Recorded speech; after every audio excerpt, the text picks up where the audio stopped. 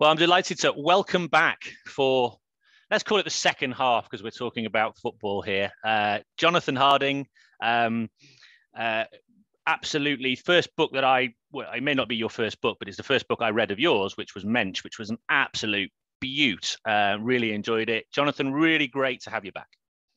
Great to be here. Thank you for those very kind words, Joe. Very kind. oh, it's the, it's the least I can do. um, so anyway, um, just uh, before we jump into the book, it might just be worthwhile just doing for those people who haven't necessarily gone back into the back catalogue. So I'm very nearly coming up to 200 episodes. I can't believe that, right? Hats so off. anyway, Congrats. I know, yeah. so um, coming back to um, uh, before we jump into the into the, some of the context, really good, really good stuff in there. Might just be worth uh, quick a quick recap and maybe even a catch up since we last spoke, which I don't know, maybe a couple of years ago, maybe. So Yeah. yeah, it'd be good to good to catch up, really. Yeah, definitely. Well, it's been a while. I think off the back of Mensch, I, I found myself very overwhelmed by a lot of the response from coaches in the field. And it was really humbling to, to get that. I was really delighted. But I still had one question that I sort of really kept coming back to. And that's ultimately what led me to, to write Soul. Um, I think in those, in the time since we've spoken, yeah, basically ended up coming to that idea quite quickly after Mensch, to be honest. Um, it's funny because the design of the book is quite similar to Mensch, the front cover and the three lines and all of Mm. that. And you know, my publisher's already joked with me like, "Got to complete the trilogy."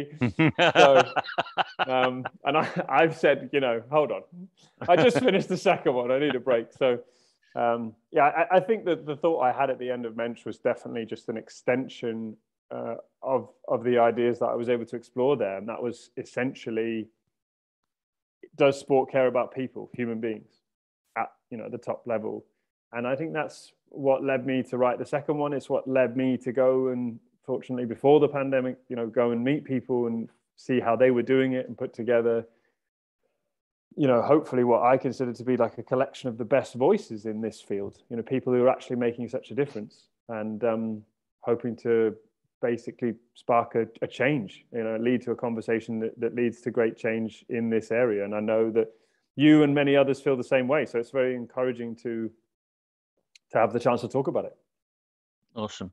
Um, and just going that kind of stage back, even almost going back to sort of you know the origination of Mensch. Mm. Um, you know, you, you're somebody who writes about football professionally. You're a journalist, and and then obviously through, I guess, being in that space, then also then decided that you know the, the first book, which was about, you know, essentially German coach education culture, pretty much. Um, And then obviously from that, you know, there's a, there's this one. But you know, what first and foremost, just just getting into the idea of writing about particularly football, but also other forms of sport, this, that, and the other. I mean, h- how did you stumble into that? I think when my career started, uh, I think I I didn't really know what I was going to do. I think like a lot of young people, you know, Mm. what are you supposed to do? You go to university and you study the subject that you're told that you're the best at. I think a lot of the time you are fumbling in the dark a bit, right? And I think in my situation, I was fortunate that I had languages, and I would say to anybody, if you can, if you're not sure what to do, study a language because it, it really does open up so many doors. Because then you give yourself the opportunity to do almost anything further down the road in a different place, and there's something quite exciting about that. But I certainly didn't know what I wanted to do. Um, I always loved writing when I was younger. I loved sport, and when I realized that professional sport wasn't really a possibility, I wanted to stay close to it somehow. And uh, the two sort of perfectly intertwined. I mean, I've said many times, I owe Mario Götze an awful lot. If if he doesn't score the winning goal in the 2014 World Cup final, the interest isn't there in German football, and the luck that comes with the timing of things in life doesn't fall for me. Um, if it's Argentina, Argentinian football, Lionel Messi, the whole you know era and, and glory of that shifts to a different place in a different time, and German football becomes sort of this country of nearly men in the footballing world. So I, you know, I owe a lot to circumstance and just being in the right place at the right time. But um, yeah, when it when it comes to getting into football writing, it took the long way round. You know, I started working in translation, working in media, um, indirectly did a lot of jobs on the side. Got fortunate enough to get opportunities, took them, made the most of them, and it's a lo- it takes a long time. You know, it takes a long time, and I was lucky to get in at a time when it wasn't overflowing like I think it is now. Um, so very fortunate to have timed it well, I guess you could say. Um, but I, I, you know, you spend a lot of time writing. I just wrote a lot because I feel like that's one of the best ways to get better at it. Uh, it intrigues me. The reason I asked the question is it intrigues me always to hear people's kind of circuitous stories to, to where they get to because um, everyone I think you know ha- tends to think or they kind of buy into the notion that there's this sort of grand sort of linear plan. Yeah. And in fact, actually, for the convers- for this conversation, that's what's sold often to a lot of kids. That do this, do this, do this, do this, and the end product is some form of sporting immortality. But the reality is, is that actually very often, even for some great athletes, the route is far from linear. So it's an interesting, interesting journey. And and also from my own perspective, you know, I've told the story many times that, you know, in my own career, I wanted to be a graphic designer. And my art teacher caught me on the hockey pitch for the 15th time when I should have been in his class and said, maybe you should have a career in sport, um, which was also his kind of way of saying, um, I'm dropping you out of my subject. so, um, but he, it was the best career advice I think I probably ever got, which was kind yeah. of interesting because it did change my uh, my career journey. And interestingly enough, I've got a 14 year old boy at home who is currently just t- just about to take his options. And actually, one of the debates we're having is so he's actually he's somebody who's he he has sort of mild learning difficulties, uh, dyslexia, that sort of thing. Um, albeit, you know, uh, it's not probably severe enough necessarily for him to be given particularly, you know, kind of special support necessarily. Mm-hmm. Um, therefore, you know, he's just one of those people who just struggles with struggles with um, words a little bit more than other people do. Takes a bit longer. However, it appears from the results he gets that he's something of a linguist. Hmm. Now, I'm I was very fortunate to grow up uh, uh living abroad for, while I was very young. When I was five, I grew up in West Africa in a French-speaking colony, Guinea, which is why AFCON's always fascinating for me. Mm. Um, and um, uh, and I so basically was pretty fluent in pretty much bilingual, so pretty fluent in French as well as uh, as well as English. And then obviously, obviously when I came home, um, or you know a number of years later and i started to do gcse french um, i kind of words came out of me that i didn't even know i knew it's weird but yeah. so and so i've always I, I like you and then fortunate enough to studied latin and a few others and so i've always kind of liked language and found languages relatively I'm not saying easy, but I can kind of get by in most countries based on on that ability. Mm. And I'm trying to debate with him about whether to do languages because he's quite good at them. He seems to get quite good results. But it's kind of a straightforward choice between does he do a language or does he do computer science mm. combined with something like iMedia? And you think about where we're going in the future. I'm, I'm, asking you for career advice. I don't know why, but anyway, it's just an interesting discussion, isn't it? Because I, like you, I'm led towards languages, but I don't yeah. know whether to suggest that for him, knowing it's a it's a more difficult thing, mm. knowing also that the likely areas that he's going to have in his career and the basis is things like digital media and all those sorts of things. I don't know. It's a really interesting discussion, isn't it? You can, yeah, it is. You, you could also make the case there that ultimately, because of the way that technology has integrated itself into our day-to-day lives, he doesn't need an extra class on that because he's going to have grown up in a world in which he's probably pretty digital, digitally able and capable anyway. Digital I mean, native, you, yeah. Exactly. If you think about like, even if I think about my generation, uh, we we grew up before smartphones, and boy, am I grateful for that. Mm. But if I think about the generations that have followed me, there is no concept of a world without the smartest computer in the world, the size of it being the size of your palm. So like mm. that in itself lends itself to a sort of a technological development that you're going to have, right, as mm. a young person.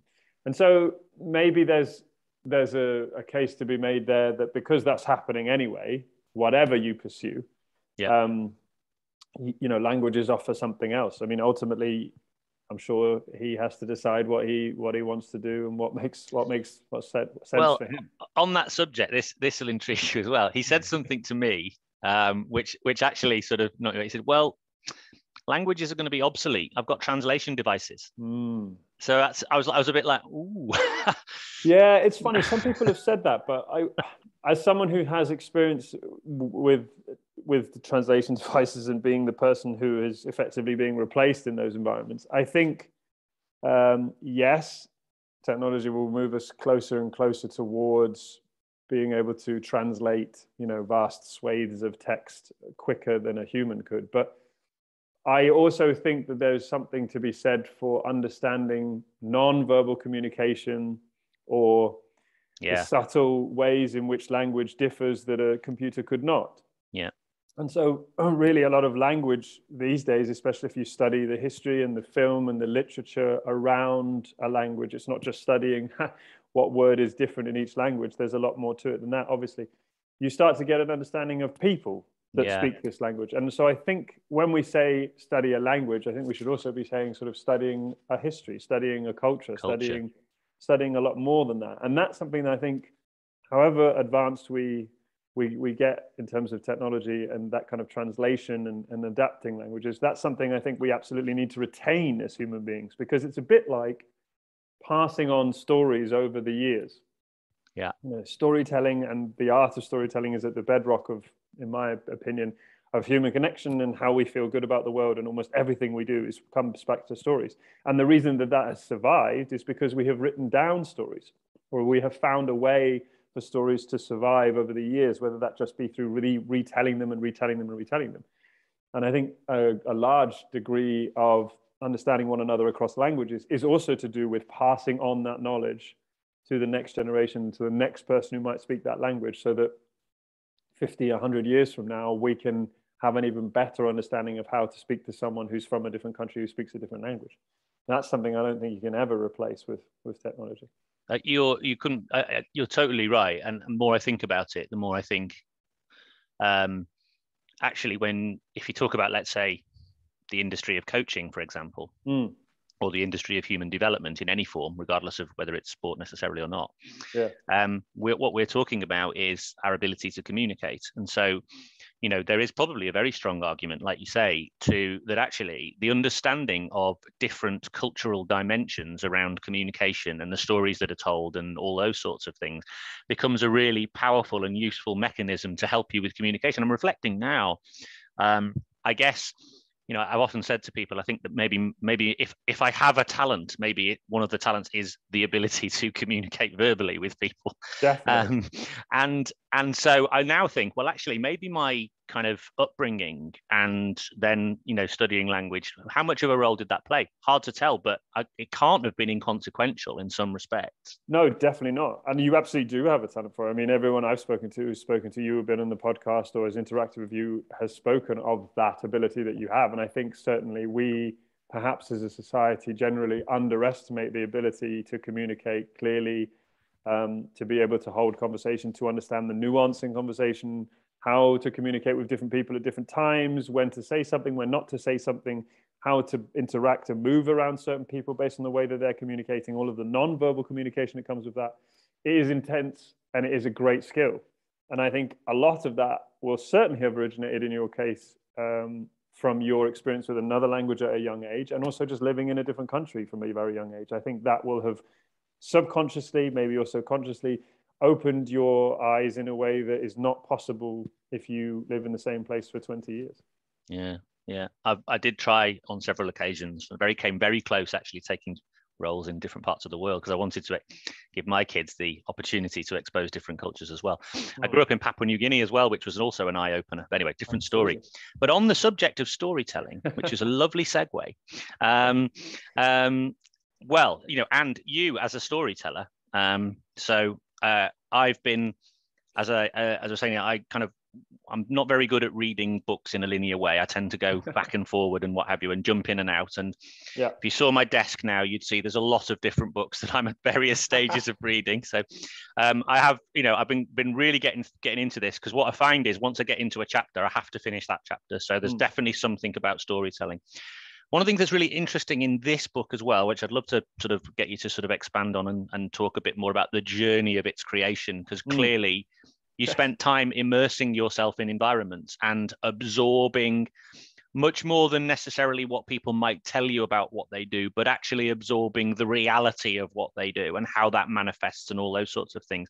And what's really interesting is as you go through different countries and you're in different environments, what you're at, what's actually saying, you're actually sort of, I think, combining you're telling a story of that place through your eyes and a story of that place through the eyes of the people there. It's a really interesting way of getting underneath a culture, I think. Yeah, I mean, I always wanted to tell stories with with the help is maybe the wrong way of expressing it, but I I wanted to have other people in these fields have the opportunity to tell their stories themselves. I, I never wanted to be the person riding on in as you know this white knight savior figure telling all the stories. That was never my intention.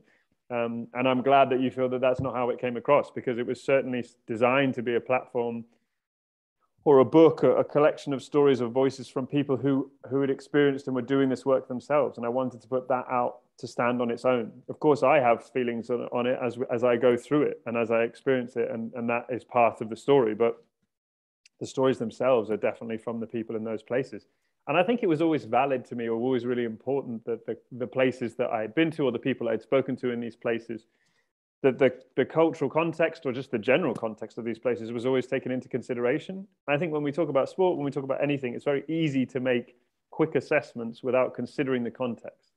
You know, you could say almost anything that we do requires context. Yeah. And I think sometimes in sport, it's so easy to make an assessment of a coach or a player or of a situation and say, well, you know, they didn't win on Saturday, so they're not a good team. Or he only ran nine kilometers, so he probably hasn't got enough effort or determination in him. You know, sometimes these assessments are laid bare to us or, or displayed to us in a way that makes it easy for us to say, well, that's wrong, or that's right, or he's good, or he's bad. And ultimately, there's so much more involved inside an individual, inside a team, inside a club, inside a community that needs to come into consideration. And I wanted to explain how people in these places are not only taking that into account, but making that a part of the philosophy uh, of how to coach, of how to live, of how to be, and how to be a part of an environment. And that was so important to me because increasingly in modern sport, I see that not happen. I see it being very isolated silos, purely performance, purely professional, um, and, a, and a distinct lack of consideration for the person or the context of the community or the club. And I think that's a worrying trend and something that obviously these people that I've been able to speak to, and a host of more, many more. There are obviously many more people in this field, but even though it's still a minority, um, these people are trying to change. You know, they're out there trying to make a difference. And and so del- deliberately, then, did you make a kind of choice to um, go and spend time with people who you saw as bucking the trend, so to speak? Yeah, definitely. Uh, there was definitely a, a consideration having put the question on the table does professional sport care about people i was very intrigued to find out if that was the case in professional sport and unfortunately i wasn't able to to explore as many other sports as i'd have liked i tried hmm. very hard to get into other fields and speak to other people in other sports but i found that if you work in one field and one sport for so long, then people sort of consider you to be that. And if you, you know, I haven't had the opportunity to build up connections in other sports over the years, and that's just totally natural. But um, so it became mostly about football because it's the world that I know. Um, but it also is, ironically, the world that needs the most help in this regard. So it wasn't necessarily a bad thing. But I, I definitely had it in my mind first, are there people? And if there are, who are they and what are they doing and how does it actually look tangibly? Because I think often in this space of looking after the person, personal development, human development, um, well-being, mental health, often I think sometimes we fall into a rhetoric that is not accurate, and it's sort of easy to say, "Well, just have a workshop," or just you know take a couple of days and meditate, and you'll be fine. You know, and I think there is value in those individual approaches. But what I was trying to find was something deeper, something connected to the philosophy of club that was widespread, that was part of the fabric of their approach, not just something that was plug in and play, because I don't believe that to be an effective method in this regard. And I think a lot of the perception around human development is around this sort of soft approach, not part of the performance environment. Um, it doesn't, you know, comply with the perception we have of high performance athletes who are always focused and always determined. And I think that's wrong. And I think, as I say, these people are doing their best to change that. But um, yeah, it, it just felt like such a necessary conversation to have now, uh, particularly at this point in time after you've seen so many athletes in the last few years come forward and be more open, be more honest about their experiences, um, not just competing, but living as an athlete in the world where the microscope is on you all the time. Um, yeah, it just felt like now was the right time to have that conversation. Well, yeah, there's there's definitely, I mean, the question that you started with, I suppose, you know, this idea of does sport care about people? Yeah there there does seem at the moment on a lot of different levels to to be quite a significant sort of cultural reappraisal going on. Mm. Um, and I think it it's it's it's in society in general. I think it's about you know almost like you know d- does our society care about people? and this is partly I think linked to the fact that you know there's we're seeing sort of a little bit of of, of a rise of or an increase in um, I guess what you might describe as more kind of authoritarian sort of political stances that are mm. seem, seeming to gain traction and popularity. However, what we're also then seeing is institutions or parts of kind of established institutions acting in ways deemed sort of inappropriate. And so that then creates this different cultural reappraisal. So if you then think like this is happening in lots of different dimensions so for example equality and diversity is obviously you know an extremely important part particularly for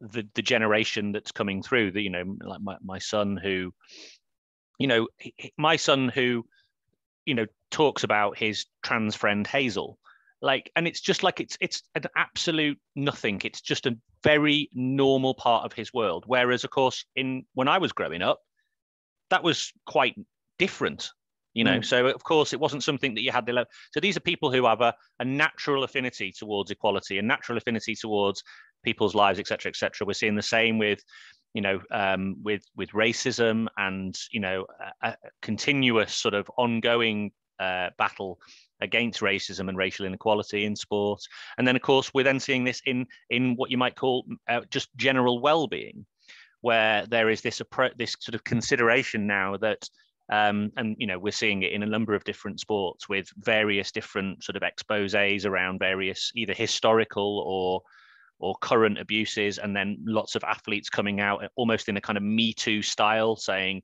yeah. you know yeah I, I also experienced this. And these athletes essentially saying we're just not prepared to put up with it anymore. Yeah.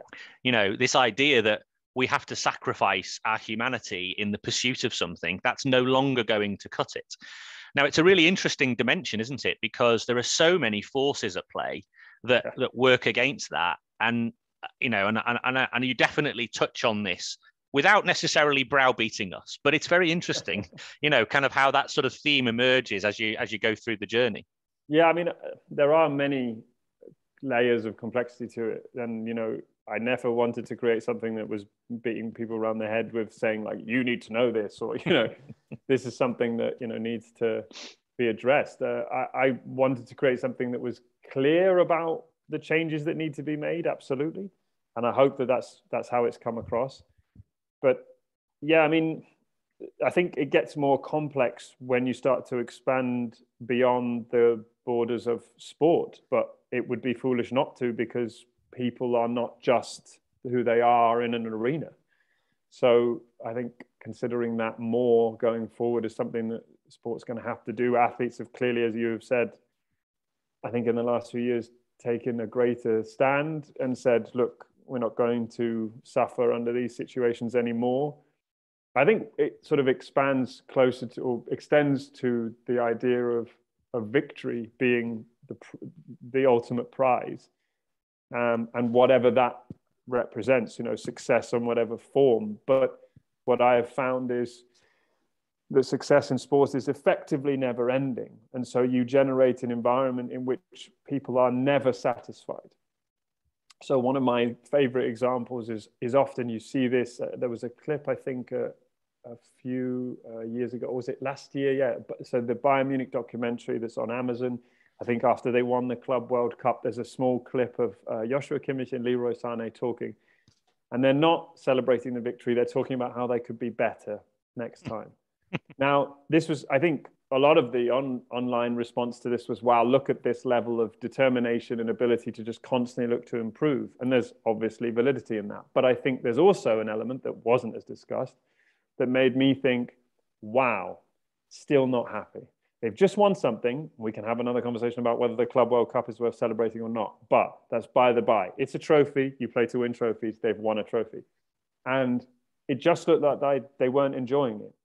And so you have to have then maybe a consideration of the bigger part of sport. If, if winning is what we're sort of drilling into young people in the sport from whatever age, you know, you've got to win, you've got to be competitive, you've got to have the edge, whatever you need to do, just make sure you win what does that do when they get to the stage where they are winning regularly and it's still not enough? Now, I'm not saying don't create people who want to better themselves. Absolutely. You know, there's there's something to be said about that. And I, I think we all want to improve on who we are as individuals, let alone what we do in the professional space. But I think there's an intense level of danger that comes with never being satisfied or never having a moment to appreciate what you achieve. And you hear it from coaches very often. You know, I never had the, the chance to experience the joy of a promotion because I was too busy doing the job, or I never had the chance to really understand what it meant to win something. And I think we have to have a serious conversation about what that means in sport. If winning is not enough, which is effectively what we're saying sport is about, because there is always a winner and a loser, right? Effectively, um, that's the nature of competition. Then we have to start talking about what sport is beyond that and that's where i think if you if you are as a club or an organization or an association considering the human being then you are going to win on way more levels and way more sustainable long-term levels than if you are just trying to win every saturday or win every competition that you're in every year.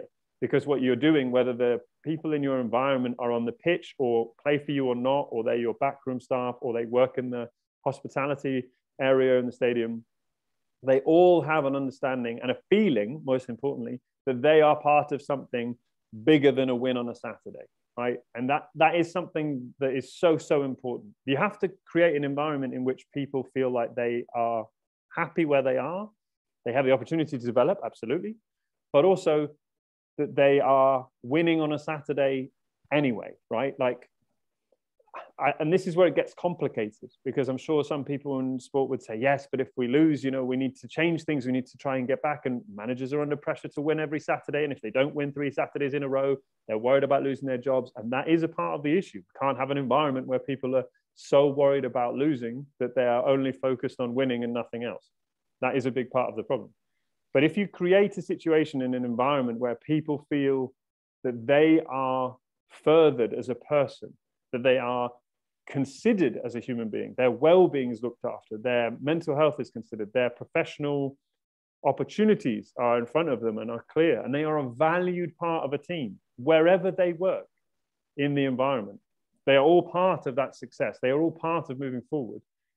Then I think you're going to find people are willing to stick at it for longer, but also your success is better, your, your general success, because whether these whether people end up leaving after one year or two, whether people end up playing for your first team or not, whether they even stay in professional sport or not, if they're players or coaches, you guarantee if you do these things that people walk away and said, that's a brilliant organization. They cared about me.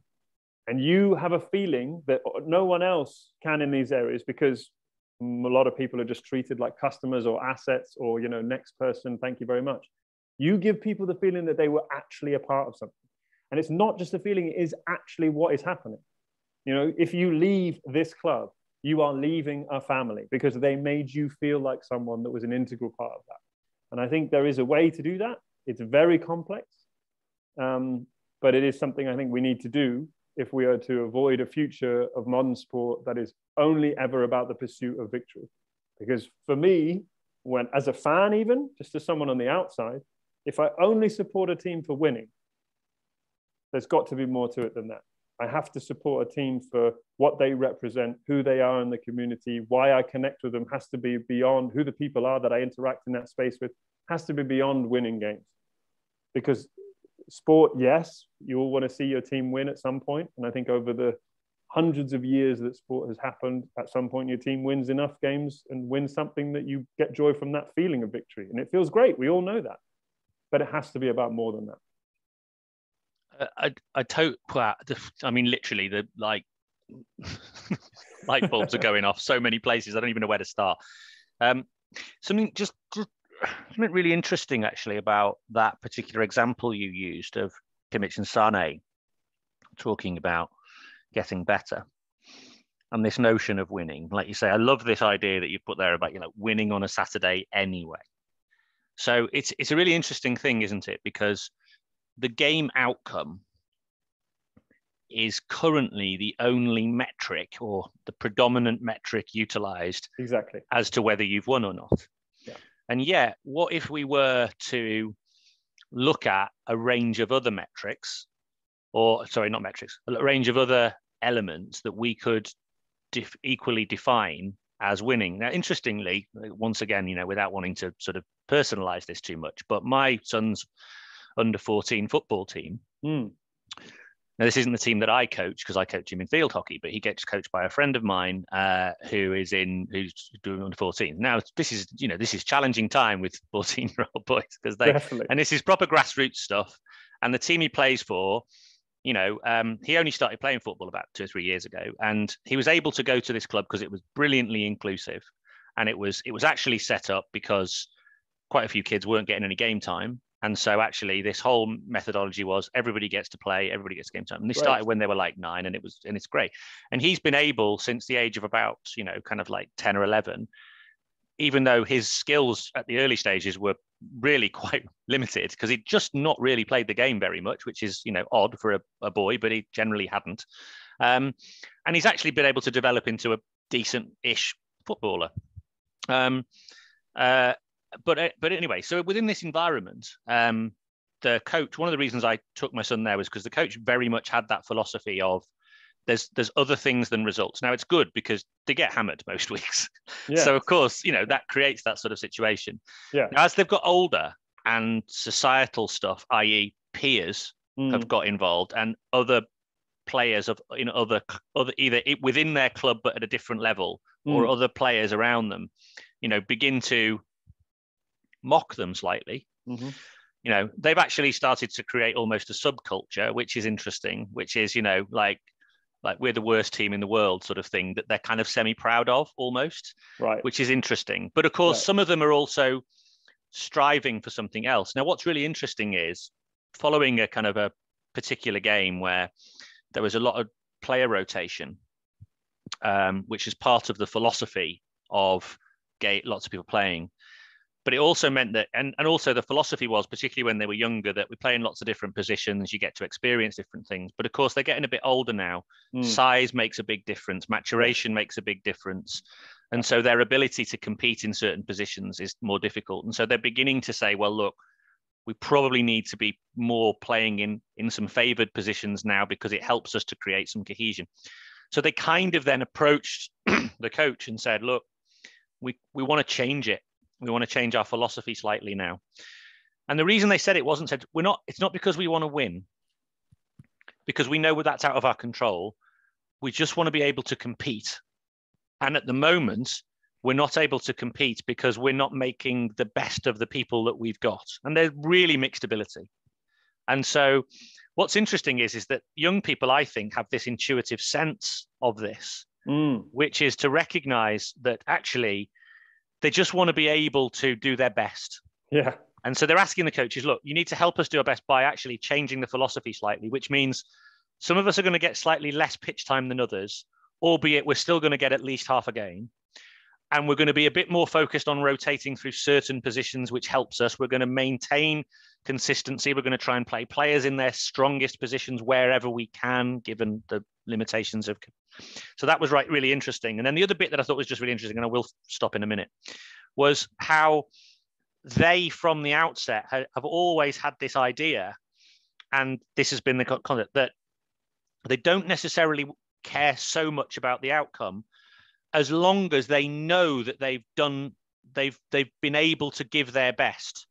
And they've come off so dejected times. And the reason they've come off dejected both coaching staff and players is they know they haven't done their best.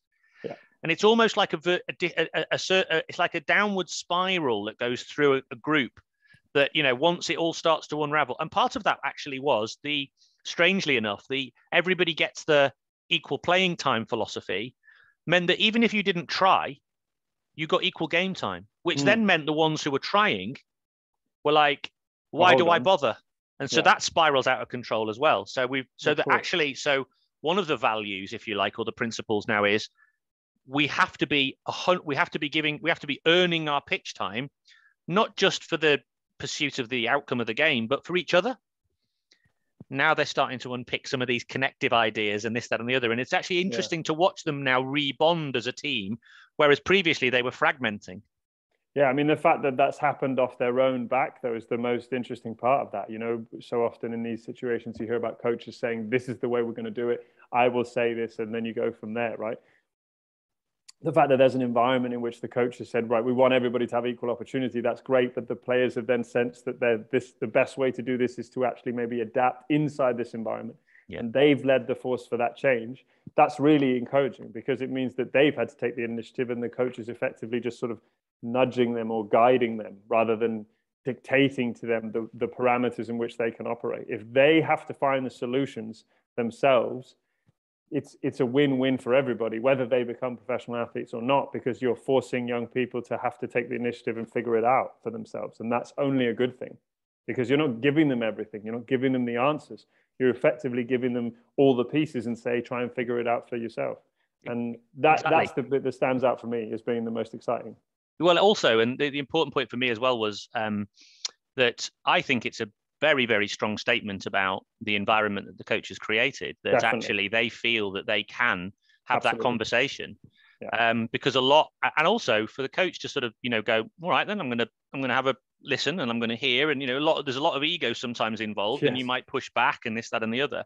Interestingly enough, though, I remember I was giving a couple of them a lift home, and you know, um, and they were talking about this game that they lost. And they were so dejected and everything else, and they were so, oh, I think I'm going to leave and this, that, and the other.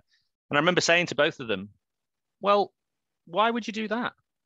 Why would you just leave? You could have the same problem somewhere else. I said, you've got an opportunity to change it. Why not show some leadership? I said, one thing about your coach is I know he will listen to you. Right. So go and ask and go. And they did bless them. And, and, you know, and it, and it was, it, it kind of all things worked out. Anyway, sorry, I've taken you down my No, that's great. I like it. I like it. But it, it, the reason I said it was it, you made me think of that. But interestingly, just going back to Sané and Kimmich, one thing I wondered was, do you think that's an example of almost like an extreme growth mindset? because what they're saying is they actually value the struggle of improvement. That's where they find joy. They find joy in them continuously looking at ways in which they can become a more cohesive, connected unit, to find flow, to find connection, to find uh, an, an, improvement area. And actually, the outcomes are, uh, if you like, a one of the kind of yardsticks that would you you would use on your journey of self-actualization. Mm and interest so interestingly enough because i do think sometimes elite athletes are wired in a kind of interesting interesting way yes. and you can't always interpret the way an elite athlete thinks and acts and then try and, and try and apply that to the rest of the world Definitely. because particularly children who are go, who've got very different needs but it's an interesting concept because i think that's the sort of thing that i think carol dweck would look to mm. and say yeah there you go there's people who are saying actually the outcome isn't the interesting thing it's the process of getting there that they value and they're continuously interested in. Yeah, I mean, there's there's nothing wrong with that, and I certainly would be the last person to say stop that. You know, I wouldn't. you know, if you've got people in your team who are interested in that kind of continuous development with an outcome being something that is as a result of that, rather than just being their pure goal, yeah. then great. Especially in such a high level competitive environment, then that's wonderful. My only consideration is from a human perspective. Whatever it is that you do, if you're focused on improving, improving, improving, improving. I do think that there is an element of, of life at some point where you think, wow, I just wish I'd enjoyed it more. And I have heard it so many times from elite athletes or top level coaches after their careers where they have realized and they've come out of this sort of bubble or the mindset of intense performance all the time and thought, wow, I could have just enjoyed it a bit more. And I think ultimately there probably needs to be a bit more of a balance. You know, I'm not saying stop being so competitive in this environment. If you want to get better on the field, that is a win for this team, and I'm not going to stop you. But I think if you can foster an environment in which individuals are capable of saying, "We just won something. That's great. Let's celebrate it." If it's for 10 minutes, take it. You know, that's fine. I'm not saying celebrate it for three weeks, but I do.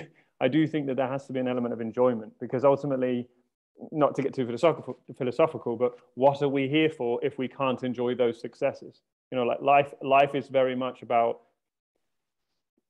the the the people that we meet, the interactions that we have, and all of the adventures along the way. But I I don't think that the moments that we find that intense joy in, or that we have achieved something that of professional level that deserves a moment of recognition, should just be overlooked. And obviously, if an individual doesn't want to do that, then you shouldn't force them. Absolutely not. But I think generating an environment in which something like that can be enjoyed is absolutely necessary. So there's not just this ruthless pursuit of glory, because um, I don't think that's necessarily too healthy.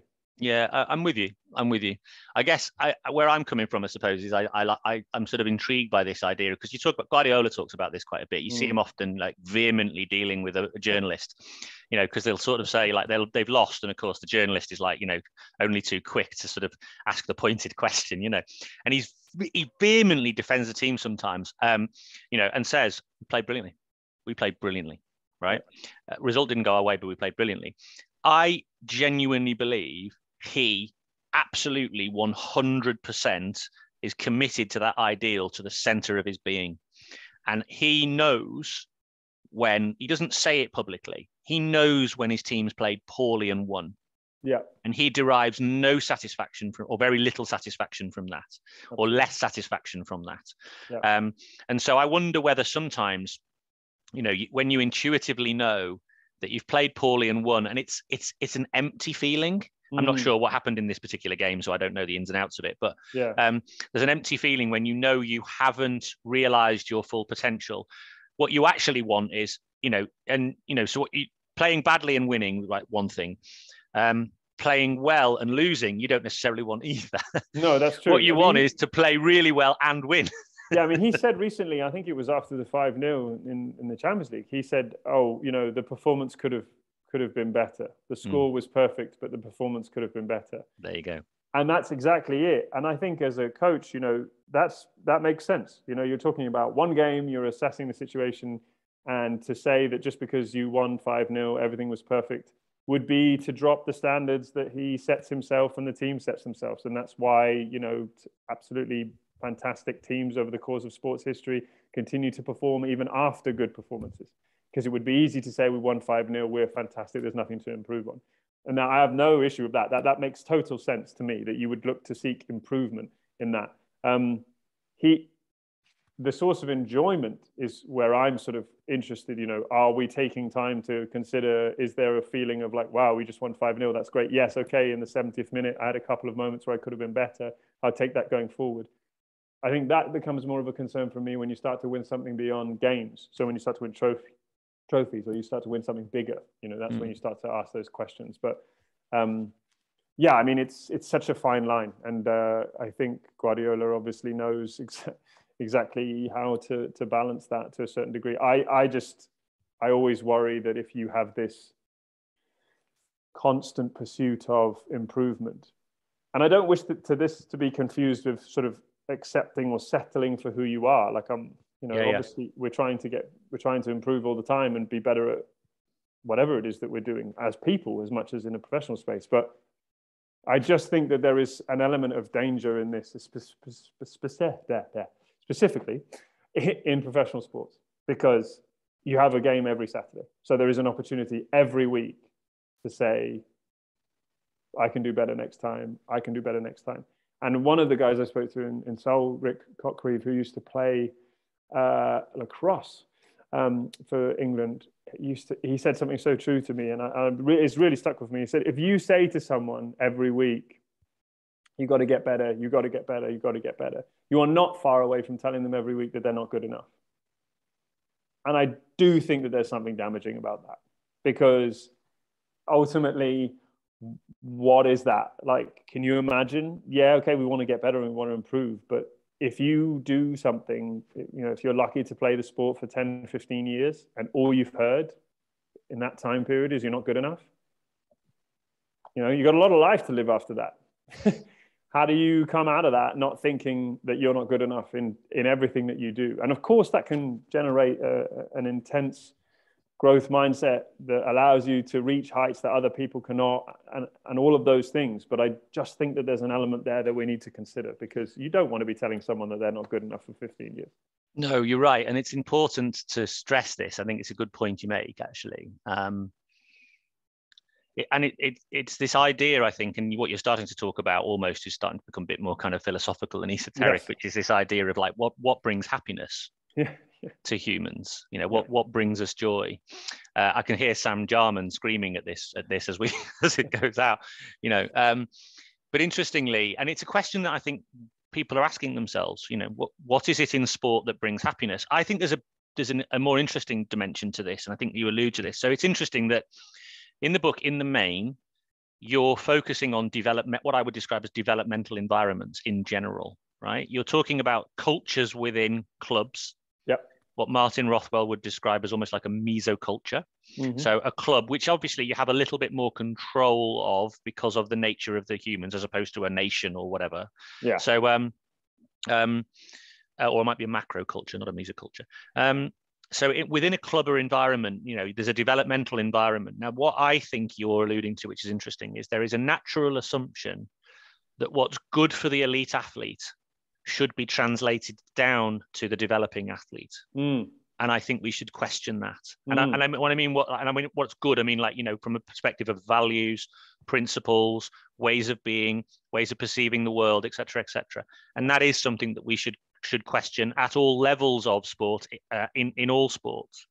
Yeah, I mean, my, my that, yeah, that is that is a good point. My my only question with that though is it is I think it's insightful that when you look at things like player care or mm-hmm. well-being, that more often that kind of provision or that kind of environment is in academies and not in first teams, because in first teams there's this there's this sort of unspoken thing where it's like, well, you've made it now. So yeah. why would you need that?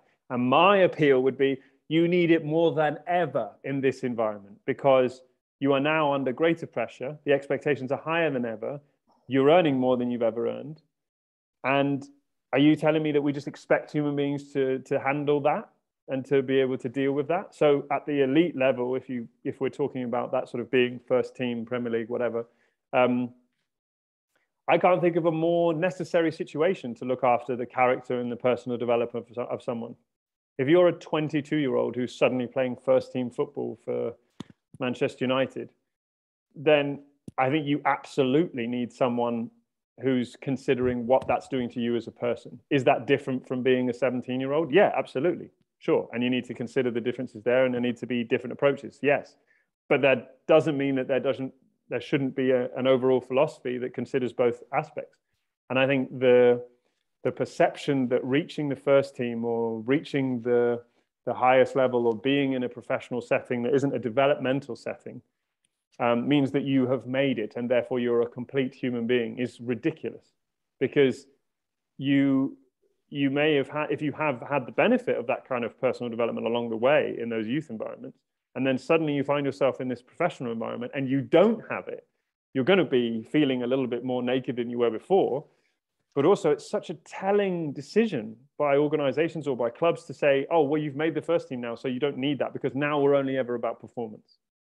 And that just seems like the wrong message to send young people. You know, if you're, if you're in this environment, we need you to be understanding who you are and, and the bigger philosophical questions about your existence in this environment, but also in the context of your life, more than ever here now, than just, you know, just than saying, oh, you were 17, you're in the youth academy, we care about you whether you make it or not. Valid, important, should be done more often. Absolutely. Crystal Palace, great example. They've done that recently, looking at aftercare and professional football. I love that. But when you make a first team, why is it so rare that we consider the personal development of young people? Yeah, it just blows my mind. You know, 23, 24, 25 year olds need just as much guidance. Yeah, okay, look, you, me, we weren't in professional environments when we were 25, but we were still 25 year olds. You know, yes, there are different environments, and of course, we were raised different ways, but there are so many similarities, so many similarities that we it would be foolish to say, you know what, they're an, they're an elite athlete, so they've, they've gone through academies, they're different, they're wired differently. Yeah, sure, there'll be differences they're also human beings and they do need very similar things that you and I need. And to not be able to look after that or help them answer those questions or generate environments in which we're protecting that part of them, trying to help them through it and not just leaving them out in the cold, as it were, to just be all about Saturdays, that seems wrong to me. Yeah, it, it, it's interesting observation. Actually, I'd not thought about that, but it's also interesting to note that some of the most successful professional sporting franchises um, have that kind of provision baked in. Yeah, absolutely. I mean, I was fortunate to speak to Steve Johnson, who does a lot of work in Australia with rugby league, and um, they have done incredible work. I mean, they are basically, in my opinion, at the forefront of this. They they and their advantage is that they're a smaller league, absolutely, yep. but they have the they have an independent governance basically over the well-being of their their players and their coaches and their clubs, and they have two well-being officers at each team. I mean, it's amazing. You've got one ex-pro who's there to help players in transition before they transition so that they don't just arrive at the end of their careers and are completely confronted by what to do after sport. And they've got someone who's there specifically for mental health and well-being and considers the personal development of each individual. That goes for coaching staff as well. And the cool thing is those people tend to be a part of the coaching staff. They sit in on those decision-making meetings. So it's not like they're just someone that gets called up and says, oh, hi, Stuart, yeah, can you tell me, is Dave okay? Yes, no. Like, it's not about that. You know, obviously, a sports psychologist there for that that's a different level. They're not there to make medical decisions. That's why you have sports psychologists and you have doctors, absolutely. But they are there for the well-being of their staff and the players. And they are there to help with career transitions, right? So if you embed that into your environment, then your entire process as a, as a, as a player, as a coach at an organization like that is so much healthier. It's so much more well-rounded because you come to the end and you're not fearing it as an end, you're fearing it as just another left turn or a right turn. It's just another road. It's not the end of the road, it's just another path. And you're prepared for it because you've been prepared for it all the way through. Throughout your career, you're not necessarily as confronted by X, Y, Z in certain situations. You're, you know, troubled by this, or you're worried about addiction or you know you're fe- fearing how to handle ex- you know excessive amounts of pressure or you're away from your family and you don't know how to handle that. You have someone. There is someone there to help you with that and you're not left alone. And i i just think that's such a great example. Now is rugby league in australia clean absolutely not they've had dreadful image problems over the last few years and they have had issues that they have had to contend with um, but i think their attempts to change that environment are very commendable. You know, they're not just sitting back and saying, well, you know, we've had some pretty bad, they've had very bad issues over the last few years. And there's no shying away from that. But this situation where they've tried to create and embed people in organizations is such a, a positive step, I think. The question for me is, is it possible to do it in something as vast as the Premier League? You know, sadly, I would say no, because it's too big and it's too rich and it's too powerful. And you have to look at other ways to try and embed that kind of stuff because I really think there's such a lot of value to it. Well, yeah, but strangely enough, I do think there's um there are kind of all there's almost like a count counterculture mm. That we've been talking about, and you know the book speaks to this really, which is, you know, I I would say that uh, a number of if you were trying to write this a number of years ago, I think it would have been harder to find the case studies, whereas n- now they seem to be more more prevalent because more organizations are asking these sort of different questions and trying to redress this cultural imbalance. And we will delve into this in a minute. But it just strikes me that there is a counterculture taking place and there is people beginning to ask a question so one of the things that um, that i think we'll see um, is more more more voices like yours, uh, you know, kind of having having greater resonance and being amplified and all those sorts of things. Equally, um, and I think that will apply to um, professional sports leagues because they recognize, you know, how easy it is to get an image problem and how impactful that would be. I mean, even if, even if you just put the, the pure and simple economics of it, yeah, you know. So um, that's a really interesting dimension to this. But the the other thing for me that I was just thinking is interesting is that the other thing that will drive this change is the recognition that this is an important dimension of performance. So actually, absolutely. if you are only interested in the wins, absolutely, this is this is another area that's massively neglected. We do a lot of work on physical health because being physically able to take the field is obviously very, very key. Yeah. but obviously, you know, what we don't have yet as good an understanding of is the mental dimension and yeah. mental health. Because if someone says, I'm not mentally ready to take the field, it's like, what's wrong with you? Yeah. You're deficient in some way. Yeah. And no. Go on, sorry. Yeah, that's that's a big a big problem.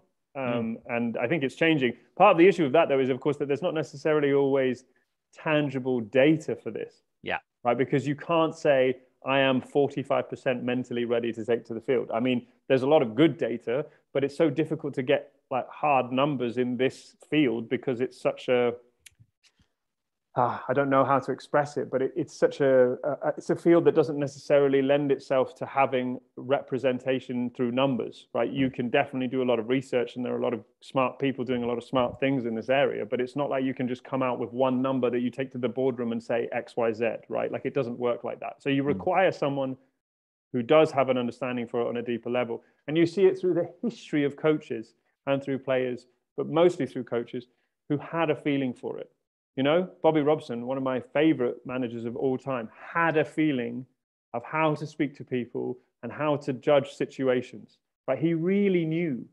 And that's not, you know, is that something you can teach probably now more than you could years ago? But it's maybe not something that you can have in, you know, sets of data on that say, well, in this situation, he was 20% more empathetic. You know, like it doesn't, it doesn't work like that. But I think if you have an understanding of what does work based on good research, then you can make smarter decisions. And absolutely, the key point here is the one you just made. It will bring better performances. It absolutely will. Because if you have people who feel better about themselves, more comfortable about who they are and their role in the universe, of course they will play better. Of course they'll perform better because they understand that the two are connected. You know, and I, I really think that. You can think about it on your own level as well. If you go to work are you more likely to work and stay that extra hour to do that job if you care about the people that you work for and they, you know that they care about you? Absolutely, you are. If you go to work for someone who just treats you like another number, employee number 37, you are not going to stay that extra hour and you cannot wait to leave at five o'clock. And there is a difference there.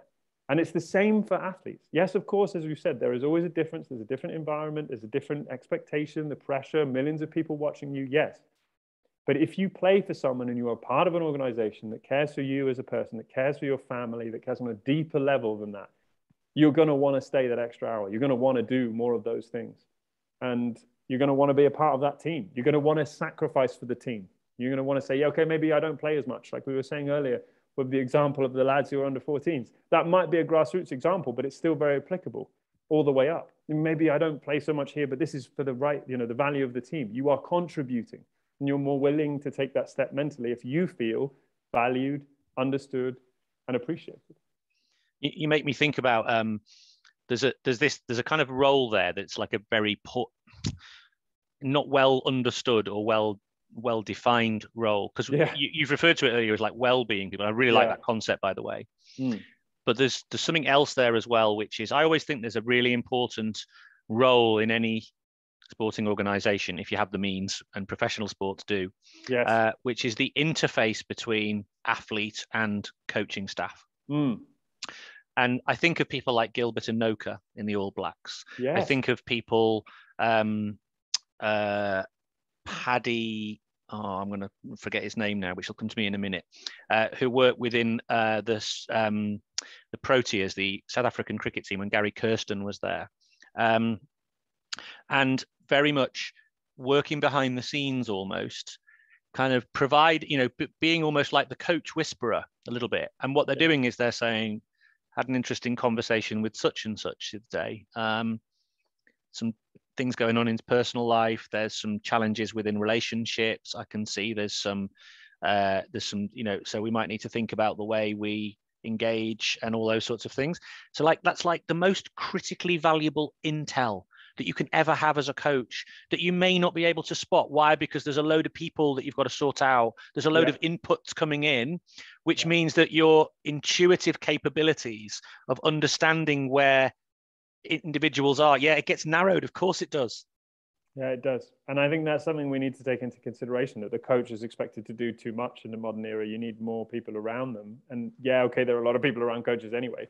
Um, but maybe one thing I've certainly found is in this field, the coach is the most important element, really.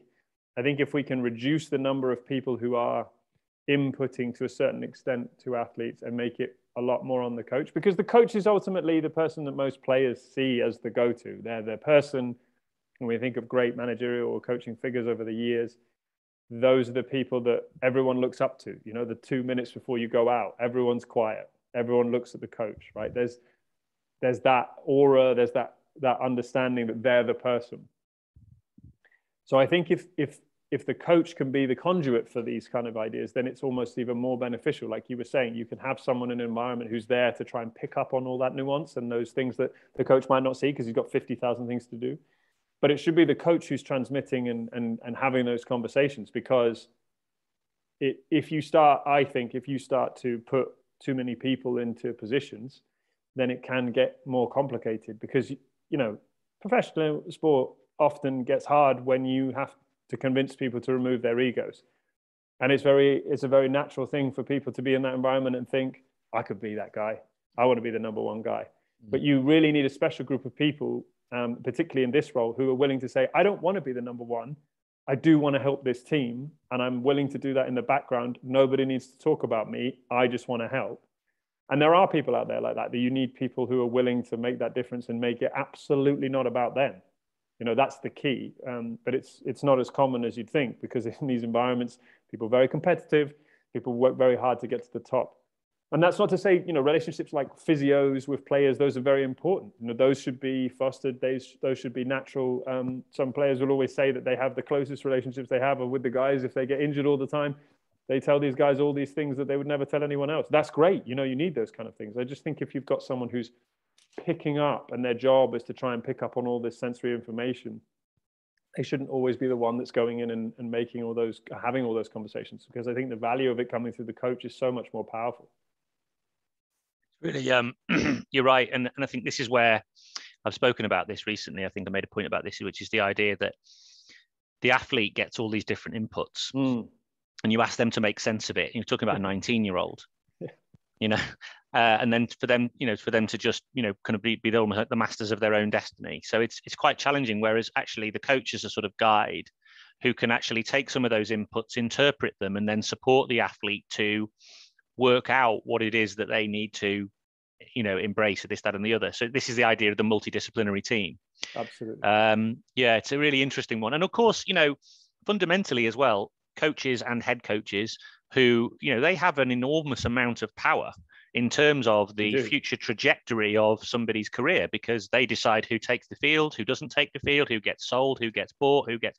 So there's a there's a there's a lot of an athlete will need from a coach to get them to understand and to feel like they've got something to con- contribute. Uh, it made me think of something. I read a little, an article really. Again, these are all things that are out of context, right? But Klopp saying to one of his one of his like new young players coming through from the academy. I forget his name. He's about 19. And the first thing he said to him as he takes the field, I think it's in a Champions League game, or maybe it was in a big night at, at Anfield, mm. saying, Go out here and play. If you don't play well, that's on me. I choose to make, I chose to put you in the field right now. You go out and express yourself and enjoy what you enjoy what you do so basically taking the responsibility of performance onto him mm. to say, I see something in you and I've chosen to put you in here because I believe in you.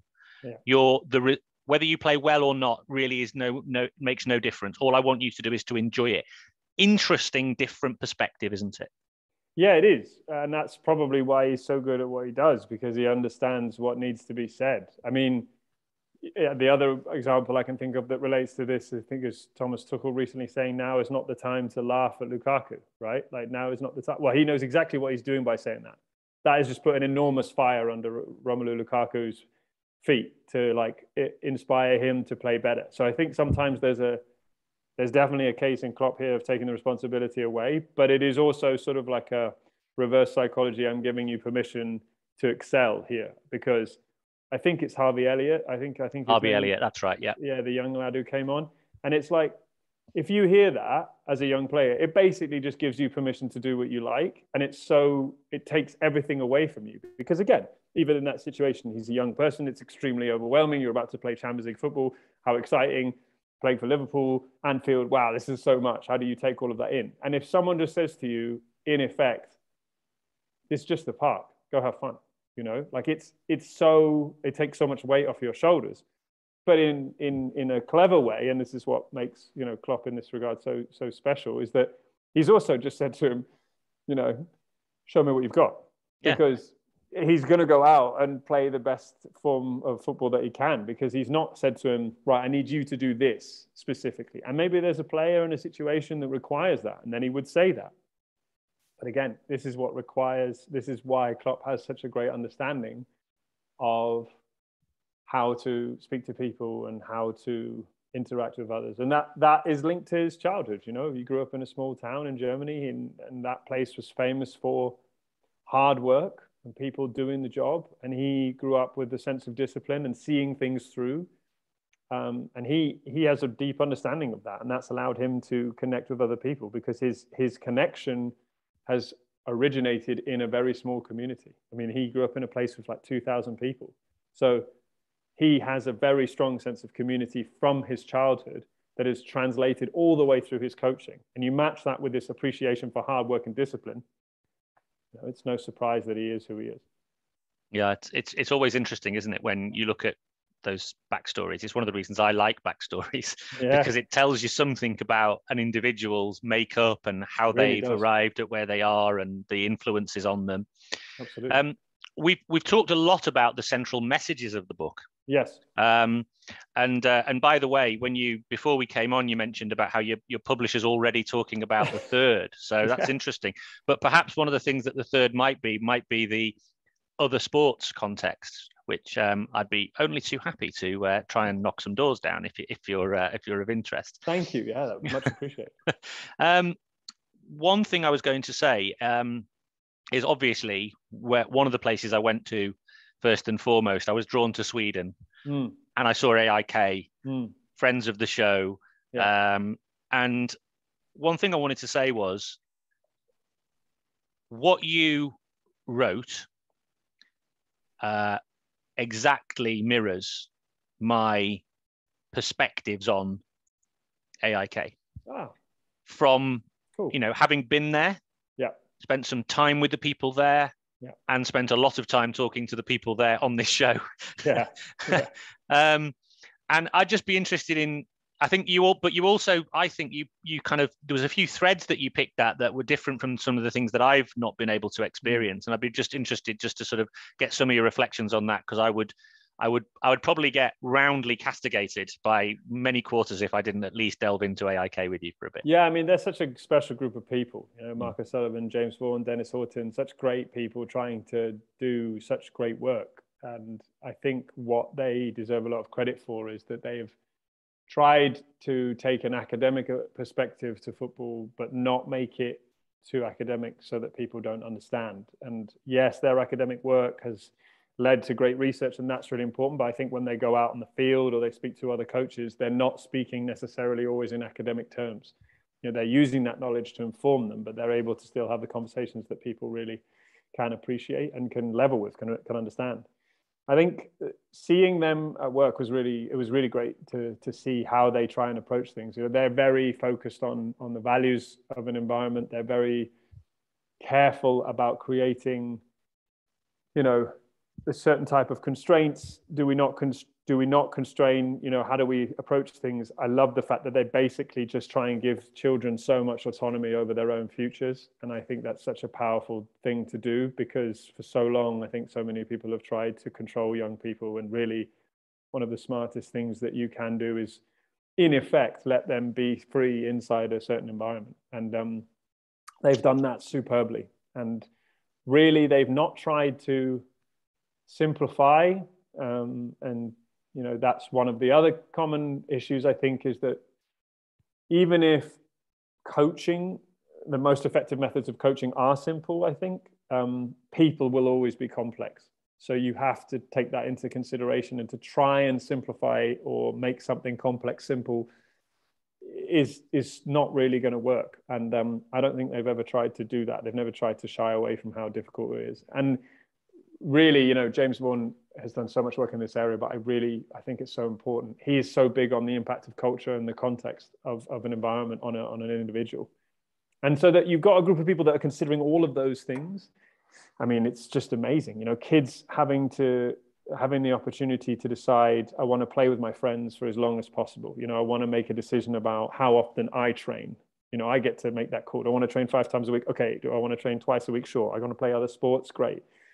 You know, and then it only gets to be a slightly more of a like, okay, well, what do you really want to do when you get to like 15, 14, 15, 16? You have a sit down with them, like, okay, do you want to maybe do more of this or that? And again, it's it's always about their own decision making. And you develop an environment in which kids have to make their own choices and they're learning through trying to formulate their own um, understanding of the challenges that are put in front of them it's again it's not about giving them answers it's about giving them all of the objects to find answers um, and I, I, was just so impressed with that because it requires a very different approach to coaching. It's very easy to rock up to a session and i'm not saying this is wrong but to say this is what we're going to do. This is how we're going to do it. These are the drills. I know the dreaded d word. But you know these these are the approaches and that's it right? And again this is not to say that coaches who do that are doing anything wrong. Often we're working in environments where you're like oh this is the only way i can teach these kids or i'm working 10,000 miles away from my usual environment. Absolutely. But to see it here where it's the total antithesis of that was really amazing because i really think that there's so much more at play when you do that and you are developing the human ironically without necessarily putting too much language around it. We are just talking about well-being and having someone around there. What they're doing here is doing that without saying it, because you're asking children to make decisions all the time on their own. Um, and that was just uh, that was just fantastic to see those values put into practice, to see people considering language when they interact with one another, how they treat their environment. Just great, just great. It's a really interesting, um, it's a really interesting uh, story, I think, um, and there's so much to it. Like the amount of well, firstly, the fact that you know the the board of AIK, you know, mm. at board level, you know, made the commitment to this. Yeah. Um, and uh, and you know the the need for you know this not just to be kind of you know this if this was something that was kind of just generated by coaches within their sort of methodological space then you know eventually you're going to find that it wouldn't be very long before you know the kind of the, the winds of uh, performances for example would yeah, maybe right. change or uh, the uh, someone at the top of the you know the, the the director of the academy changes and therefore the philosophy changes and you're at the mercy of the leader as, as, you know and so you're constantly almost reinventing yourself. Why? Because a new leader comes in and says this is what we're doing. So no what AIK have said no this is like a philosophical decision that we're making about Absolutely. the ways in which we're going to treat human beings within our developmental environments. Yeah. so that's the first stage. The second stage then is the external stakeholder engagement and the continuous selling the why. You've got something that is so like you say it's the antithesis. It's so much the opposite of what's normal. And you, you made me think of something. So, in one of the, the later chapters in Progress, you talk about um, when you talk, I think it's Chris Ramsey and a quote yeah. from him about early professionalization.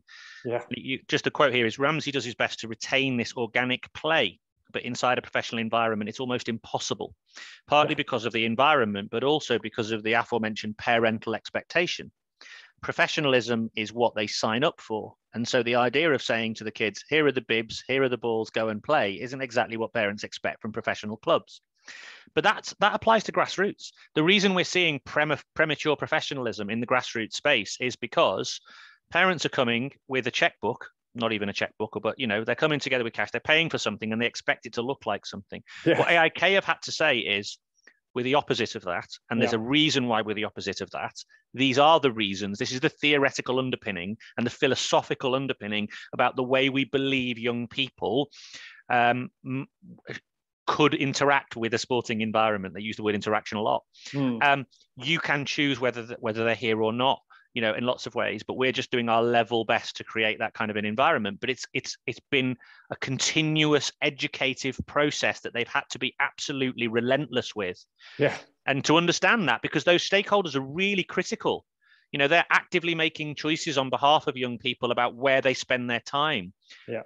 Sorry on behalf of and with young people about where they spend their time. Really interesting. Yeah and and the best part of that is that they are effectively creating performance related um, outcomes as well because and, and they put it so beautifully when i was there is academy's purpose is what to generate players, players for the first team. That's what people always say. Mm. But they don't do that. They generate, you know, smart, strong, intelligent young people who may or may not become professional athletes. And the byproduct of that environment is players for the first team. It's not the purpose of the academy. And that I think is such a great way to approach it. So yeah, you can have an academy. And if you're saying, well, we're only here so that we can make players transition to the first team, then your ruthless pursuit of that is to say, you know, Mark always has this great expression.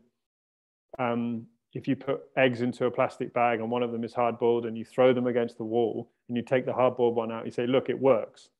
Yeah, think about all of the players that don't make it, but we only ever talk about the two or three that do because they make it to the first team. We're like, everything works because there's two or three players that have made it to the first team. Never mind the fact that probably like a thousand, five thousand players never made it in the same time frame. So if you change your approach and say, our academy is here to give young people the best possible start in life, wherever they end up. And the byproduct of that is that there will also be players for the first team. Amazing. Rather than just saying our sole purpose is to develop players for the first team. Because if you do that, then everything else becomes like, okay, you're not good enough, you're not good enough, you're, you're gone, you're gone, you're good enough, blah, blah, blah. That's all you ever focus on. And if, it, if you change the formula, as it were, um, then you end up with so much more reward and and and the the absolute beauty of that is, and this is why I describe it as kind of like the ultimate in win-win propositions, yeah. is um, young people who are part of that environment get so much more from that environment than whatever the outcome may be. And given Absolutely. that, given that the numbers, and you make reference to the minim, minuscule percentages of yeah. people who do transition, it's incumbent upon us to ensure that they have the best experience they possibly can so that they can then take their experiences, apply them in a different context if they want to, yeah. or apply them in the rest of their kind of life experiences. You hope that they're going to build connections that'll be lifelong. This is what we try and do in the grassroots space. The ironic thing is, is that we're we're moving away from that. So mm. it's, it's fascinating how some of these cultural dimensions they're really interesting i mean i, I love the fact that you, you chose the title soul because fundamentally that's the question you're posing isn't it what is the soul of sport almost it's a yeah, battle I mean, for the soul of sport isn't it it is yeah and i it was funny because i obviously you know i i think that's what we're really asking i think we're asking that question but we ask ourselves uh, that we ask that question of ourselves almost all the time i think i know i do um, what's what is at the heart of what I do? Who am I? You know, these are big philosophical questions to a certain degree, but I think they also drive large parts of our existence and why we make the decisions that we make. So, you know, if sport is, you know, what is it if we were to look at sport specifically? What is it that it really represents if we got it down to the absolute core of it? You know, and that's sometimes been disheartening to hear the truth of from people in the field because I don't think it represents something I want it to. I'm sure a lot of people feel the same way. I mean, we were just talking there about grassroots examples of perception versus reality. I give you money, therefore I expect to see X, Y, Z. I think that's unfortunately now being mirrored in a lot of school environments. I pay for something, I expect to see this, this, and this. Mm-hmm. You know, I expect you to raise my children. Well, hold on.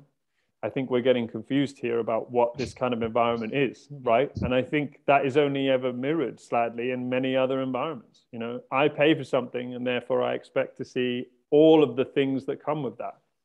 Whereas the truth, uh, you know, what is the truth? But I, based on what I've experienced and the people I've spoken to, I consider the truth in this sense to be it's never about something that's transactional it's always about generating a situation in which you can find out the answers for yourself.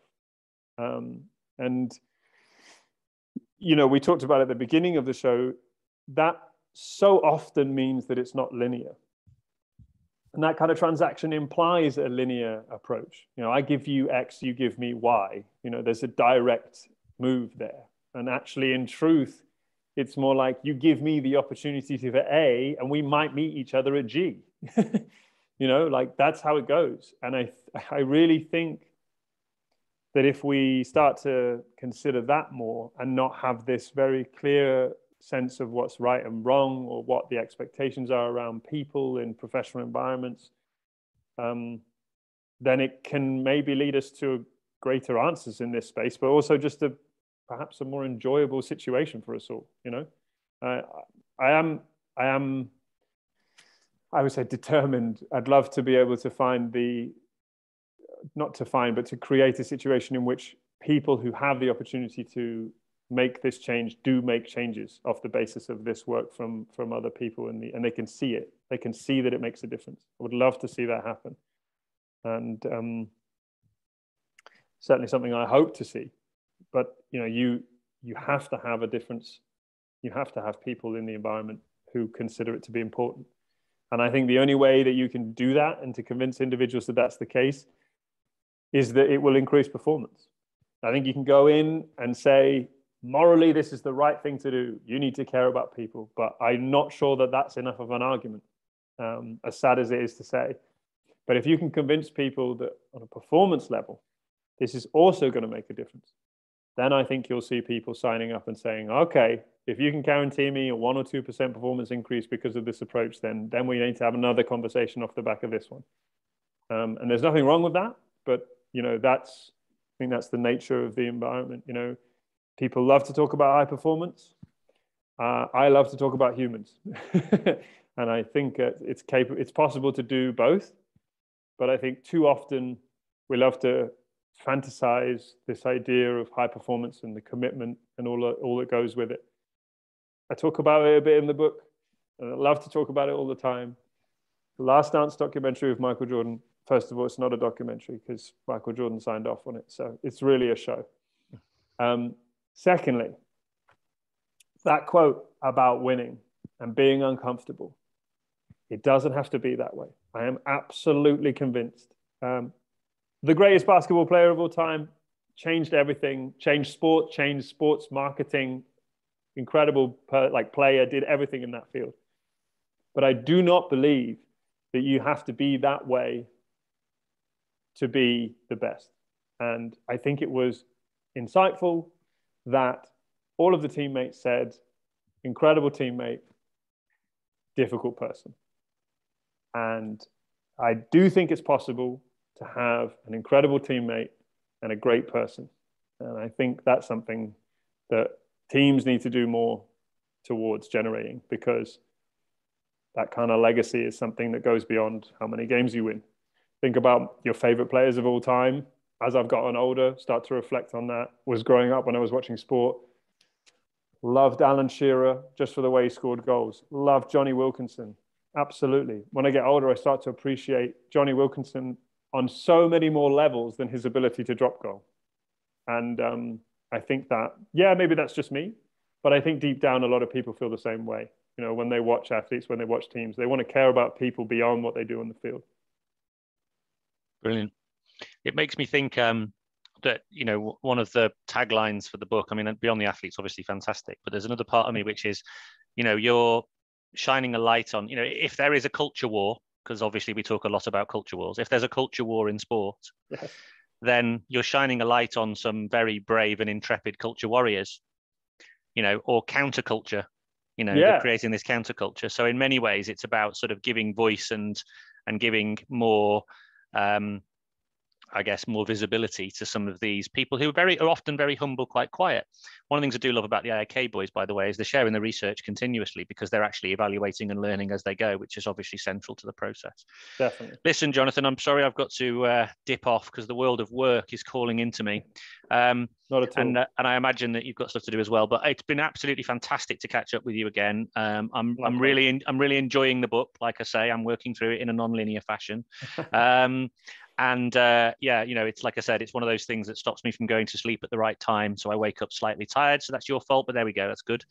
Um, what's uh, what's the best way for if people are interested in maybe speaking to you individually getting you to come and speak at conferences or anything like that? I don't know. Um, now that we're unlocking or what's the best way for them to get in touch I mean, I'm on Twitter quite actively, JohnBlog66, so you can get in touch with me there. I'm on LinkedIn as well. Feel free. Um, but yeah, thank you so much for having me on. It's always a pleasure to talk. And I've said this before, but it rings true even two years after the first time, I have such a lot of appreciation for the work you do in this field and the people that you interview. So to be one of the guests is always very humbling. So I'm very grateful.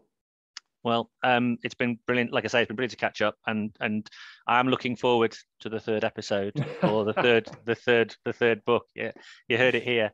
Um, listen, been great to see you, and uh, look forward to uh, look forward to reading and following and and catching up with you again as and when some other project emerges. Thanks, Stuart. Thank you very much.